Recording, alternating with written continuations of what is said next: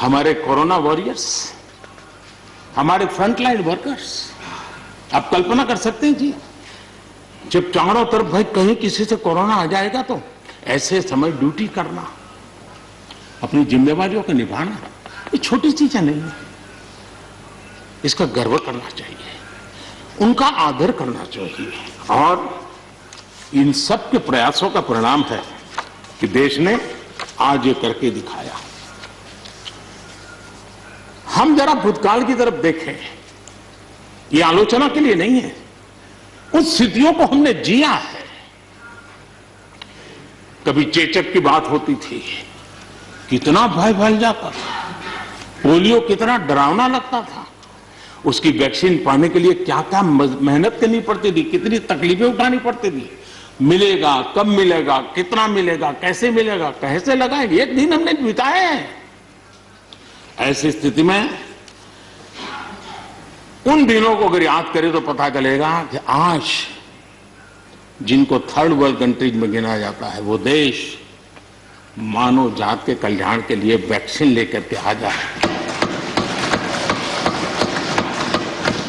इतने कम समय में मिशन मोड में हमारे वैज्ञानिक भी जुटे रहे। ये मानव जात के इतिहास में भारत के योगदान एक गौरवपूर्ण गाथा है। इसका हम गौरव करें और उसी में से नए आत्मविश्वास की प्रेरणा भी जगती है। हमने उस नए आत्मविश्वास की प्रेरणा को जगाने के ऐसे प्रयासों को आज देश गर्व कर सकता है कि दुनिया का सबसे बड़ा टीकाकरण अभियान इसी मेरे देश में चल रहा है। विश्व में तेज गति से टीकाकरण आज कहीं हो रहा है तो इसी हम सब की माँ भारती के गोद में हो रहा है। और भारत का ये सामर्थ्य कहाँ नहीं पहुँचा है? आज कोरोना ने भारत को दुनिया के साथ रिश्तों में एक नई ताकत दी है। जब शुरुआत में कौन सी दवाई काम करेगी? वैक्सीन नहीं थी। तो सारा विश्व का ध्यान भारत की दवाइयों पर गया। विश्व में फार्मेसी के हब के रूप में भारत उभर करके आया। डेढ़ सौ देशों में दवाई पहुँचाने का काम उस संकट काल में भी इस देश ने किया है। मानव जात की रक्षा के लिए पीछे नहीं इतना ही नहीं